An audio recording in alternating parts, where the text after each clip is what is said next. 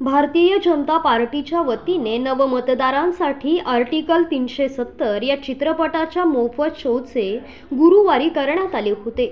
या उपक्रमाला माजी खासदार लोकनेते रामशेठ ठाकूर यांनी भेट देत शुभेच्छा दिल्या.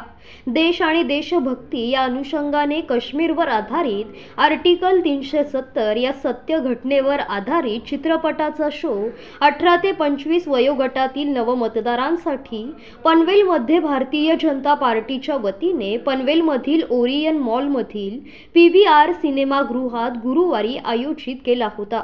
या उपक्रमाला नवमतदारांचा उत्स्फूर्त प्रतिसाद लाभला.